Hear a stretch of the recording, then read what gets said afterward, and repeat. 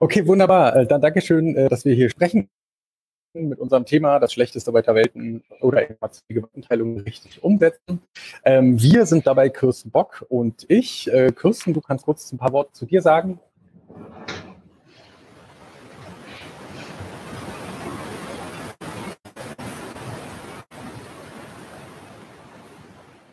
Kirsten? Ich nicht. Jetzt. Die Tücken der Technik. Hallo, ja. Ähm, mein Name ist Kirsten, ich bin ähm, Juristin, ich bin Datenschutzexpertin und arbeite bei einer Datenschutzaufsichtsbehörde. Ich twitter unter privacy.de und ich war Sachverständige im Bundestag für den Entwurf des Registermodernisierungsgesetzes und ich spreche hier heute privat. Okay, wunderbar. Mein Name ist äh, Rainer Rehak. Ähm, ich habe ähm, äh, Philosophie und Informatik studiert, äh, bin jetzt Doktorand am Weizmann-Institut für die vernetzte Gesellschaft ähm, und meine Themen sind so Datenschutz, IT-Sicherheit. Ähm, und ähm, auch ich war äh, Gutachter äh, im Bundestag im Innenausschuss. Da ging es aber um die digitalisierte äh, Verwaltungsleistungen am äh, Beispiel des ähm, Familien- und Elterngeldes. Ähm, und dann haben wir uns gedacht zu zweit, dass sich da diese Themen über, überlappen und auch ergänzen äh, und da eine gewisse Struktur zur Erkenntnis. Und deswegen werden wir jetzt sprechen über äh, so ein paar grundsätzliche Sachen, die das E-Government angeht. Ähm, erstens die Vorstellung von uns beiden, da sind wir jetzt gerade. Dann äh, werden wir eine äh, Einführung machen in die digitale Verwaltung und die informationelle Gewaltenteilung. Ähm, dann werden wir an den beiden Beispielen, die eben angeklungen sind, also die digitalisierten Familienleistungen und die ähm, Registermodernisierung, äh, unsere vorherigen Ausführungen konkretisieren und das Ganze dann in so einem Abschluss äh, zusammenführen. Ähm, und äh, quasi so, eine, so, ein, so, ein, ja, so ein Fazit ziehen und dann können wir die, die Erkenntnisse diskutieren. Ähm, genau, dann kommen wir erstmal jetzt zur Einführung in die digitale Verwaltung und die informationelle Gewaltenteilung äh, mit Christen. Ja, vielen Dank. Äh, ja, Rainer, Dank. bei der Fragestellung E-Government ja oder nein geht es uns eigentlich nicht um die Frage, ob Digitalisierung überhaupt, äh, das ist schon eigentlich eine gute Sache, sondern wie bei der Planung und dem äh, Design äh, mit, mit der Digitalisierung umgegangen wird. Da sollte es sich nämlich nicht in erster Linie um marktwirtschaftliche Aspekte drehen, wie das in kommerziellen Unternehmen ist, sondern maßgeblich sollte sein, ähm, welche Anforderungen öffentliche Dienstleistungen die Daseinsvorsorge eigentlich erforderlich machen und zudem ähm, ja auch Berücksichtigung finden, die Bedingungen aktueller Lebensweise, ähm, etwa also wie Verwaltungsdienstleistungen ähm, ja für die Bürgerinnen und Bürger bereitgestellt werden, also zum Beispiel über Smartphone, weil das einfach ein, ein, ein Tool ist, was äh, weite Verbreitung äh, gefunden hat, im Gegensatz zum Gang zum Amt. Ähm, aber wenn man sich jetzt äh, einer, äh, wenn man jetzt versucht, unreflektiert Digitalisierung zu optimieren, wie das üblicherweise passiert, dann äh, äh stehen Effizienzgesichtspunkte im Vordergrund. Und das ist eine rein technische oder wirtschaftliche Denkweise, bei der so klassische Mittel und Ziele Zentralisierung sind, vereinfachte Datenzugriff, universelle Identifikation, Identifikatoren und so weiter. Ähm, aber die Frage eigentlich, die wir stellen müssen, ist Effizienz für wen eigentlich und entlang welcher Kriterien? Wie soll also E-Government der Zukunft aussehen? Und ähm, bezüglich staatlicher Systeme ähm, haben ja Rechtsstaatsprinzipien den Zweck, Macht zu beschränken und Prozesse zu verlangsamen, um etwa demokratische Interventionen möglich zu machen. Und genau danach muss sich die Gestaltung von IT ausrichten. Das heißt, Systeme müssen so gestaltet sein, dass rechtsstaatliche Grundpfeiler und Prinzipien nicht technisch ohne weiteres umgangen werden können. Das heißt, sie müssen demokratiefest sein. Also im technischen Bereich sprechen wir dann auch von Resilienz. Ein konkretes Beispiel dafür ist zum Beispiel die Gestaltung technischer Systeme nach verfassungsrechtlichen Vorgaben.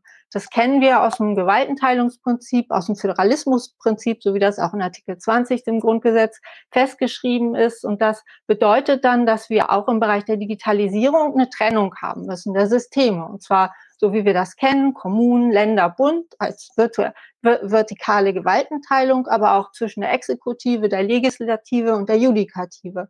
Aber auch, und das ist ganz wichtig, zwischen den einzelnen Behörden. So wie wir das kennen, ne, dass wir zu unterschiedlichen Behörden auch tatsächlich gehen müssen, weil die getrennt in Räumen sind, so müssen sie auch digital getrennt verwaltet werden. Das heißt also, das Finanzamt darf nicht einfach auf Schuldaten zugreifen oder Versicherungen dürfen nicht einfach auf Kindergartendaten zugreifen. Also auch das muss technisch sichergestellt sein. Und genau so, also genau diese Grundprinzipien der Verfassung müssen sich, müssen in Technik abgebildet werden.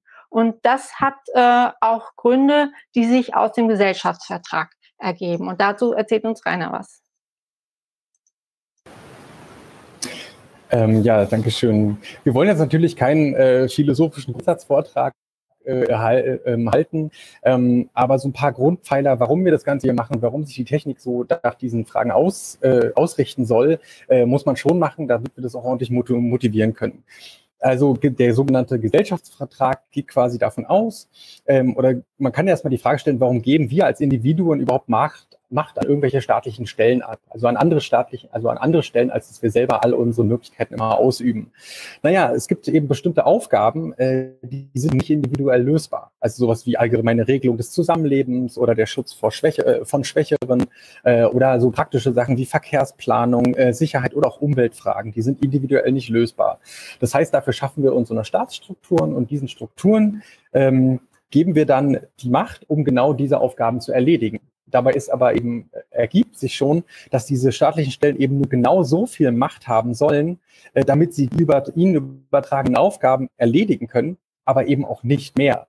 Denn sonst würden sie ja außerhalb ihrer sozusagen Konstruktionslegitimität stehen. Ähm, und äh, man kann jetzt sagen, dass die sogenannte, also die informationelle Gewaltenteilung, informationelle Gewaltenteilung, setzt also diese politische Trennung und Beschränkung auch technisch um. Wer da weiterlesen will, äh, Steinmüller ähm, äh, hat dazu äh, gearbeitet. Ähm, jetzt besteht die Chance äh, der Digitalisierung, insbesondere auch von Verwaltung, aber auch anderen Stellen, äh, besteht darin, diese Machtübertragung an so staatliche Stellen ähm, so ein bisschen feiner auszudifferenzieren und so ein bisschen anders auszutarieren, weil man vielleicht kleiner steuern kann oder, oder feingliedriger Möglichkeiten geben oder auch zurückhalten kann. kann.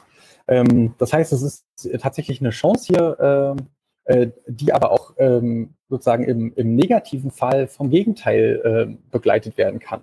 Wenn man also diese Digitalisierung nicht richtig macht, nicht ordentlich macht, ähm, dann bekommen eben diese staatlichen Stellen technisch bedingt mehr Macht, als sie eigentlich haben dürften und äh, können dann quasi weit über ihre, äh, über ihre Erledigung hinaus agieren.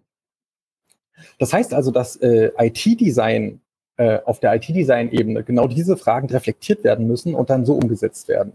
Das wurde eben bei den jüngsten, und jetzt kommen wir langsam äh, zu den konkreten Punkten, ähm, bei den jüngsten Digitalisierungsvorhaben eben nicht getan. Also auf dieser Ebene wurde nicht reflektiert, was da gerade passiert. Das Resultat war dann eben, dass diese Asymmetrie zwischen Staat und Bürgerin sogar noch zementiert wird. Wenn ich eine Verwaltung habe, die sowieso schon mehr oder weniger verschlossen ist, äh, weil ich keine Ansprechpartnerin habe oder keine Rechte, dann wird das natürlich noch viel schlimmer, wenn das Ganze dann äh, in Rechenzentren verbannt wird, äh, wo dann man noch weniger Zugriff hat und vielleicht sogar die, die Angestellten selber gar nicht mehr. Ähm, ähm, äh, wobei natürlich unser Anspruch ja ist, äh, diese digitalen Werkzeuge eben für Emanzipation der Bürgerinnen und Bürger zu verwenden, um genau äh, auch zum Beispiel bessere Kontrolle äh, zu erlangen ähm, und durchzusetzen. Äh, zwei Beispiele haben wir jetzt gleich im Vortrag.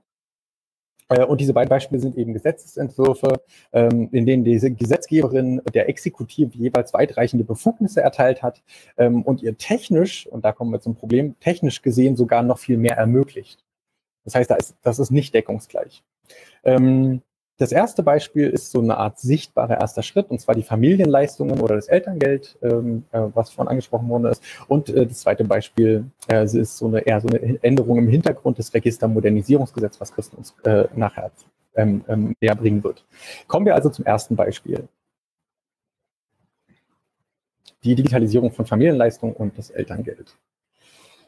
Also es ist, äh, ich umreiße das kurz, es ist ein praktisches Projekt, äh, womit äh, in Deutschland endlich äh, angefangen werden sollte, ähm, äh, die, diese mystische Digitalisierung umzusetzen. Äh, und die basiert, äh, diese, diese Familienleistungen basieren oder die Digitalisierung davon basiert ganz wesentlich auf einem Online-Zusatzgesetz, Zugangsgesetz, dem OZG. Ähm, und die Grundidee dabei ist eben, das EU-One's-Own-Prinzip in der Digitalisierung umzusetzen. Das heißt, dass Bürgerinnen und Bürger ihre Daten möglichst, so ist die Idee, einmal angeben und wenn sie an, an weiteren Stellen Leistungen in Anspruch nehmen, müssen sie die nicht nochmal eingeben.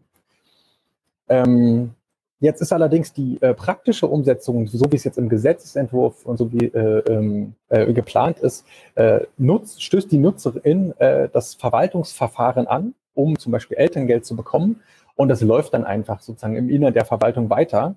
Die nötigen Daten werden dann zusammengesucht, zum Beispiel durch Schnittstellen zum Standesamt äh, oder zur, zur Rentenversicherung.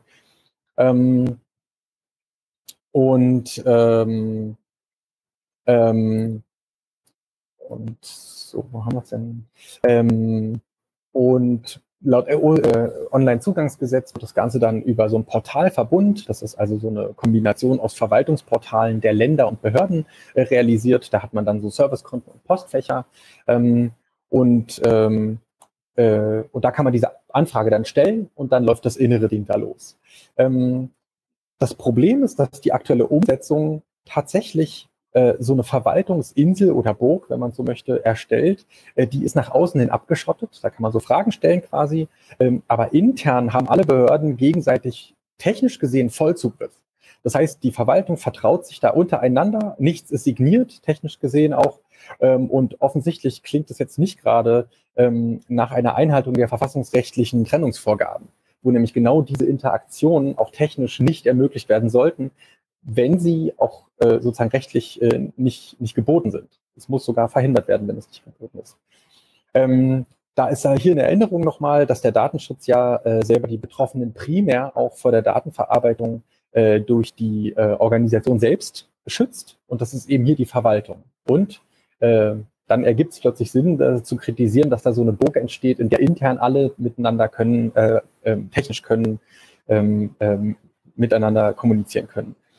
Ähm, äh, das heißt hier, dass die, äh, die organisationale Selbstregelung gerade nicht ausreicht.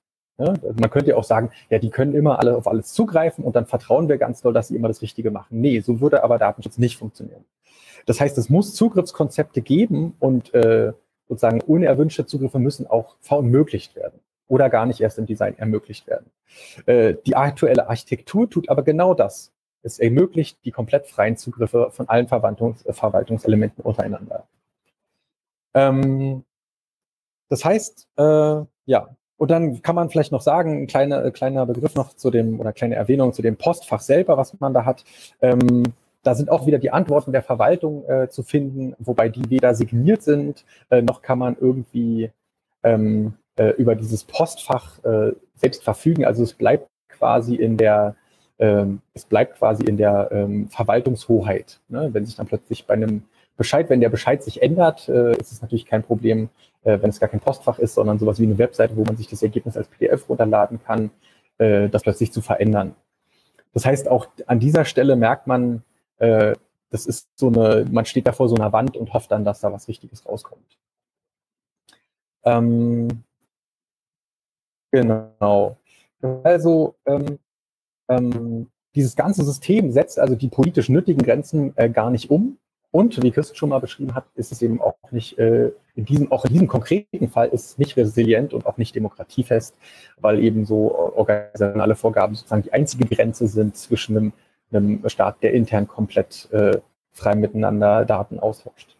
Ähm, Vielleicht kann man noch äh, als lustiges Detail äh, anfügen, sowas wie die qualifizierte elektronische Signatur oder sowas wie authentifizierte Behördenkommunikation finden sich äh, zumindest in diesem Gesetz und auch im Onlinezugangsgesetz nirgends. Äh, Grüße gehen raus an Markus äh, Dränger, der da regelmäßig verzweifelt. Das heißt, die eigentlichen äh, Säulen von E-Government werden da überhaupt nicht angegriffen, sondern eher so, so ein Monster geschaffen. Ähm, dann kommen wir jetzt äh, zu dem zweiten Beispiel, nämlich die Steuer-ID. Äh, und dazu wird jetzt ähm, Kirsten uns was sagen.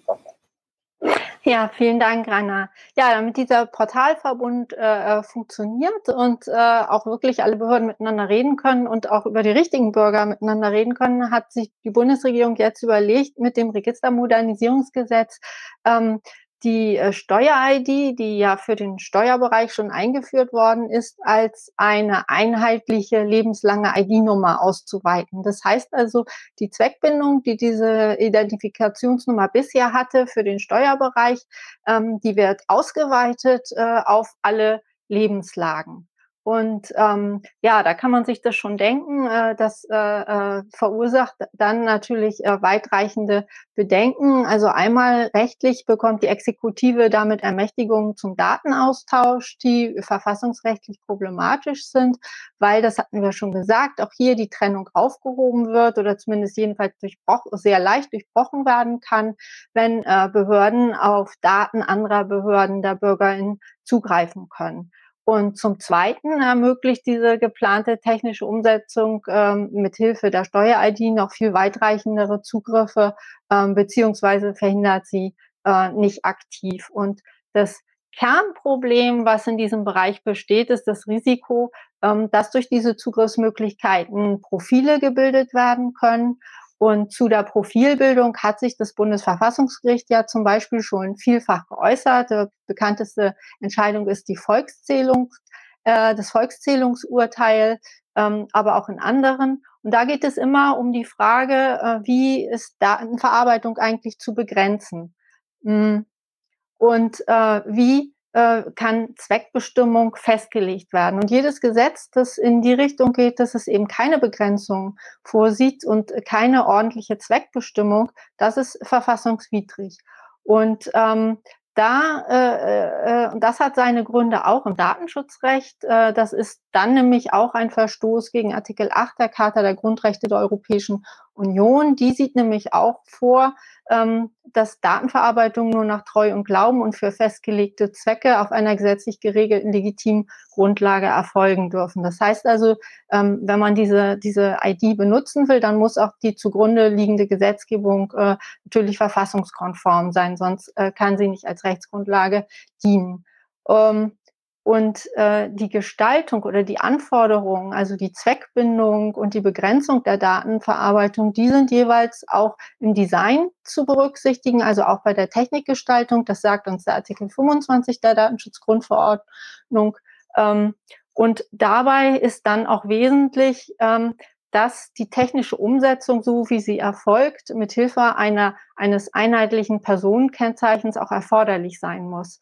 Und ähm, an der Erforderlichkeit ergeben sich hier erhebliche Zweifel. Natürlich ist es super praktisch, wenn jeder, wenn jede Bürgerin eine Nummer hat und man die durchgängig in allen Verwaltungsbereichen benutzen kann. Aber man kann dann eben auch sehr schnell und sehr leicht ähm, Profile, also ganze äh, Profile über das gesamte Leben einer Person erstellen. Und genau das soll eben nicht passieren dürfen, weil das das Machtungleichgewicht zwischen der Bürgerin und dem Staat noch weiter ähm, zementieren würde.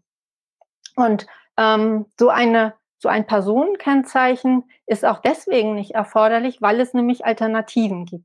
Und das hätte die Bundesregierung in ihrem Gesetzentwurf eigentlich viel, äh, viel grundlegender und viel besser berücksichtigen müssen.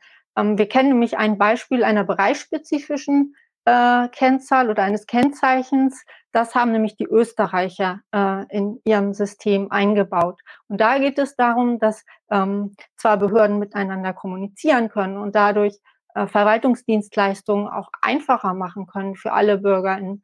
Aber äh, die Behörden untereinander, die kennen die jeweils bereichsspezifischen Kennzeichen der anderen Behörde nicht, sondern äh, die werden jeweils äh, in, in einem, an einer zentralen Stelle verhasht und ähm, äh, so äh, darüber über diesen Mittler, über diese Mittlerfunktion ähm, werden dann wird dann für die Austauschbarkeit von Informationen äh, gesorgt. Also zum Beispiel, dass man sicherstellen kann, dass äh, die beantragende Person äh, äh, auch die diejenige ist, also auch die richtigen Daten, den richtigen Wohnort angegeben hat, äh, oder auch um Verwaltungsdienstleistungen wie beim Elterngeld zum Beispiel einfacher zu machen.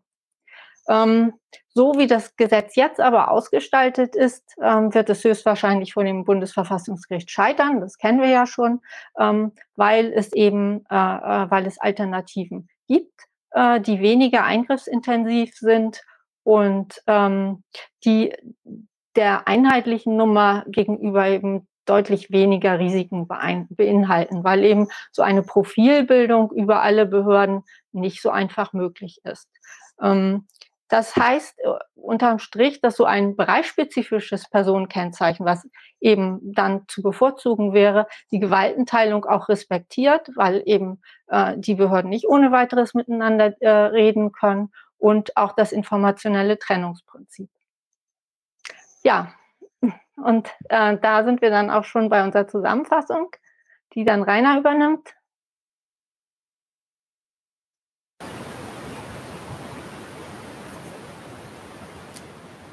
Moment.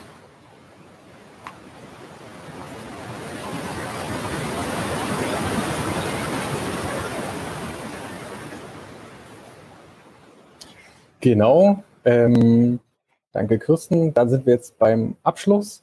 Ähm, und äh, haben hoffentlich äh, so ein bisschen in aller Kürze zeigen können äh, an diesen Beispielen, dass äh, dieses, diese Trennungsgebote ähm, dieser totalen Verwaltungsvereinheitlichung äh, ähm, und Monolithisierung eigentlich ent, äh, entgegenstehen und das Ganze jetzt an verschiedenen Ebenen ähm, sozusagen so halbherzig politisch rechtlich ermöglicht wird äh, und äh, fatal technisch umgesetzt werden soll. Ähm, Nochmal als Erinnerung, die informationelle Gewaltteilung ist die technische Umsetzung der politischen Trennung. Ne? Und da sieht man schon diese, genau diese beiden Probleme, äh, die gibt es gerade. Jetzt kann man sich natürlich fragen, äh, wa warum ist das denn gerade so? Also warum wird das, warum wird da auf dieser sozusagen grundsätzlichen und auch äh, kategorischen Ebene so, so geschlampt, wenn man es mal so sagen möchte? Ähm, das kann einerseits natürlich daran liegen, äh, weil nicht im Großen oder sozusagen in dieser Übersicht verstanden wird, was da gerade passiert. Ja, wenn man an dieser Ecke äh, immer so Schritt für Schritt hier was Kleines verändert und da was Kleines verändert, dann fehlt natürlich der große Überblick. Äh, das kann vielleicht auch äh, daran liegen, dass auch so bestimmte Datenschutzgrundsätze und bestimmte verfassungsrechtliche Fragen ähm, in dieser Hinsicht jetzt noch gar nicht reflektiert worden sind. Ähm, aber da versuchen wir gerade unseren bescheidenen Teil dazu beizutragen, auch äh, in den Anhörungen. Ähm, und der zweite Punkt ist natürlich auch, äh, weil, wie Kirsten anfangs schon eingangs gesagt hat, äh, nach rein wirtschaftlicher Effizienz und mit Verwaltungsoptimierung äh, äh, Optimierung gearbeitet wird. Ähm, und auch da wieder so eine totale Blickverengung stattfindet. Ähm, das ist natürlich dann sehr problematisch. Also, wir wollen uns also hier nochmal stark dafür machen, dass so Verwaltungsdigitalisierung eigentlich eine Chance ist, in der diese Machtübertragung feiner und ausdifferenziert und austariert werden kann. Ähm, ähm, wenn man das richtig macht, und die Möglichkeiten gibt's und die Fähigkeit war ja auch, äh, in diesem Land sowas ordentlich zu machen. Ähm, ansonsten wird's eben schlimmer und das scheint sich so ein bisschen anzudeuten, äh, dass da so ein Riesenmoloch entsteht, ähm, wo uns dann vielleicht nur noch die Inkompetenz der Überwacher schützt. Aber gut. Ähm, aber äh, das wollen wir gerade verhindern und auch natürlich mit, äh, ähm, mit den Konzepten, die hier auf dem äh, Kongress diskutiert werden. Und das ist quasi unser Ansatz, zu sagen, es gibt Alternativen, äh, die man politisch denken und auch technisch umsetzen kann. Äh, und das sollten wir angehen. Ähm, vielen Dank und jetzt, ähm, falls es Fragen gibt, gern her damit.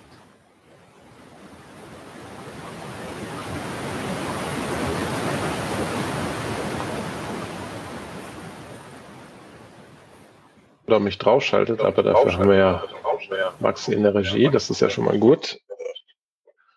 Ähm, ich habe gerade noch keine Fragen bekommen. Sekunde. Ich sag's euch, wenn ich welche habe.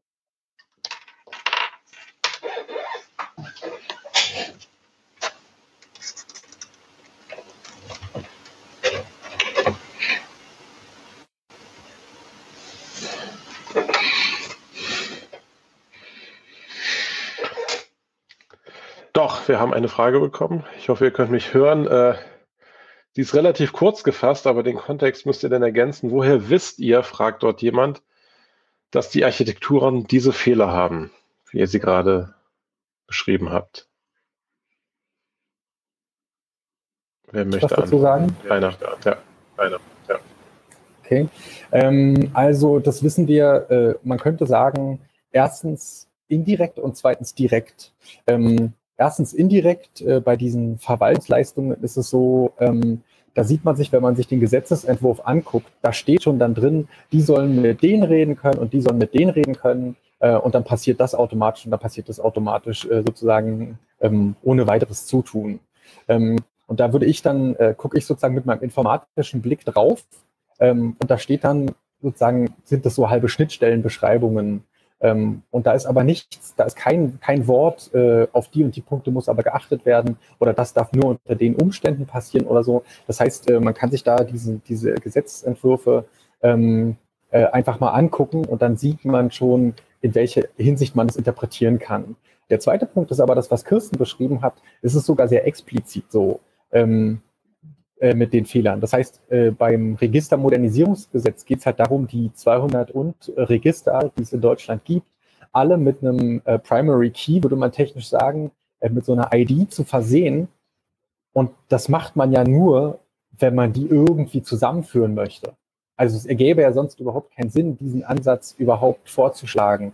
Und das ist sozusagen das zweite, zweit, der zweite Ansatz, äh, wo wir sehen, da, da wird das nicht nur sozusagen implizit irgendwie angedacht, sondern das ist explizit so vorgesehen. Und das ist sozusagen der, ähm, das wäre so die Antwort. Ich weiß nicht, Kirsten, willst du dazu noch was sagen?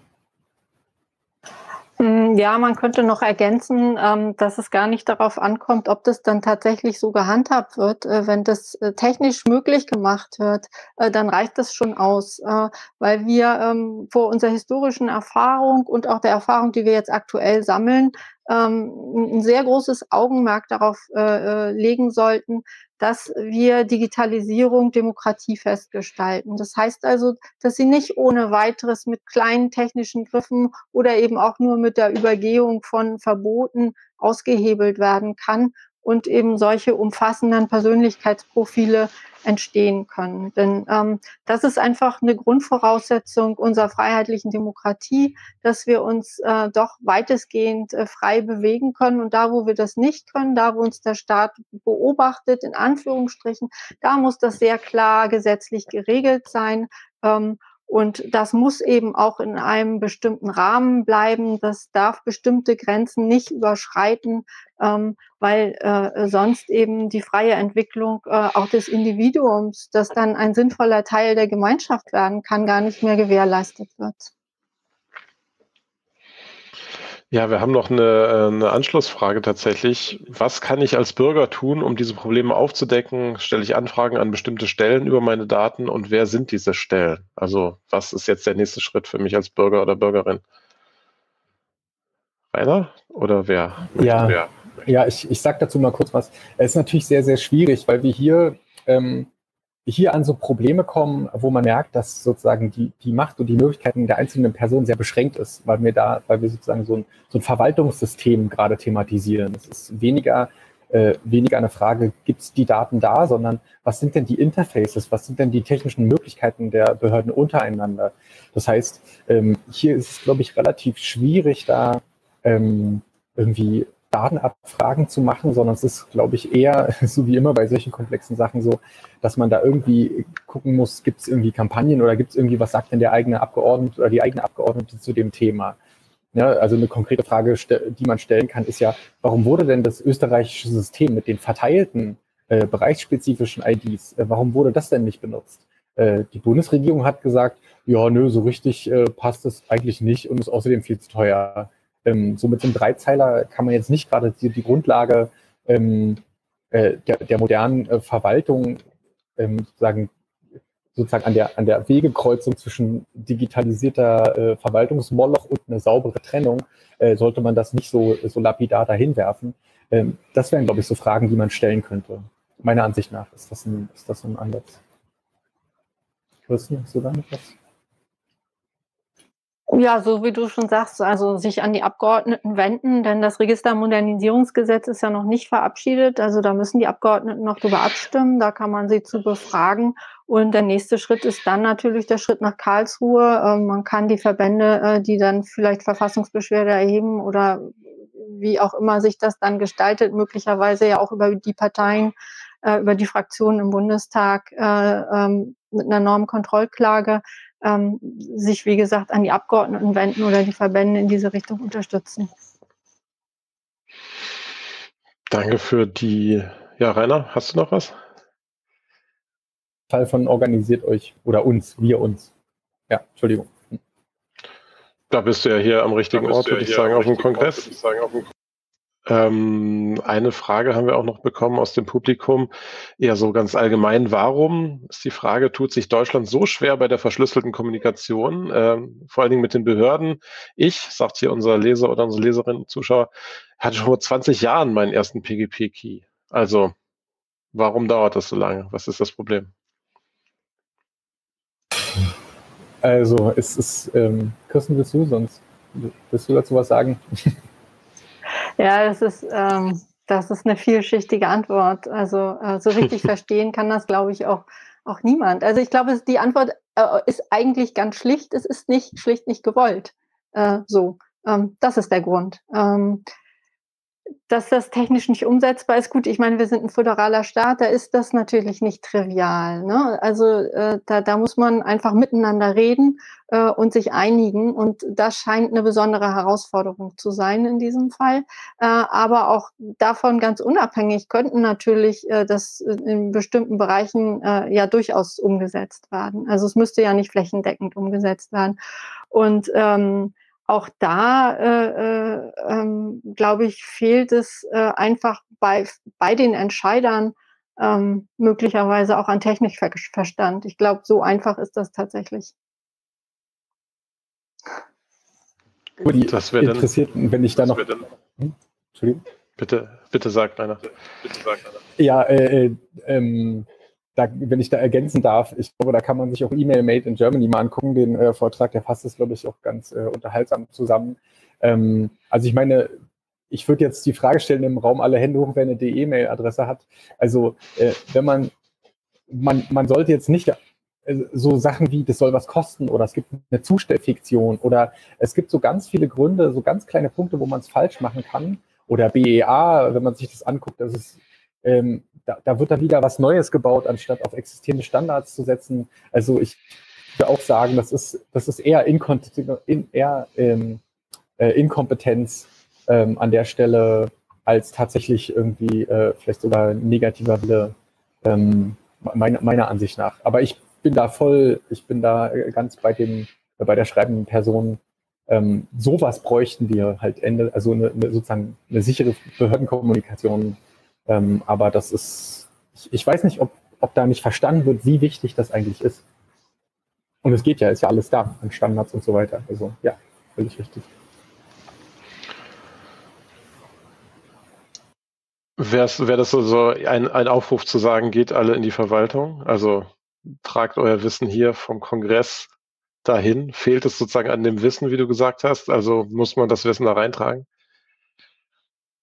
Also auf jeden Fall. Ich meine, das ist, glaube ich, ein Punkt. Äh, ich, ich strenge mich mal ganz kurz vor, äh, weil das, also das, das finde ich auch einen total wichtigen Punkt. Ähm, ähm, also der, ne, es klingt jetzt ein bisschen schmalzig, aber der Staat, diese Entscheidungen, das sind natürlich irgendwie auch wir. Das heißt, äh, geht in die Verwaltung oder geht in die Politik, zumindest, äh, weiß ich nicht, äh, auch mal äh, um, um diese Art von äh, Kompetenz da mit reinzutragen. Auf jeden Fall. Naja, Verwaltung, okay. Vielleicht, ja. Aber Kirsten wolltest du noch sagen. Entschuldigung.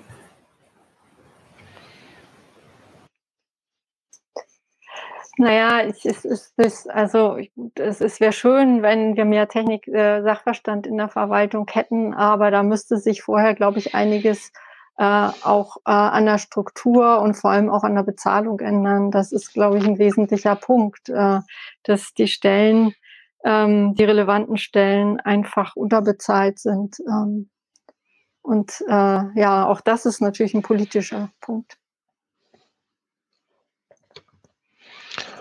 Okay. Äh, Rainer, hast du noch was? Wir haben keine weitere Frage gerade. Insofern könnt ihr gerne einfach noch was anschließen. Gerne einfach noch was anschließen.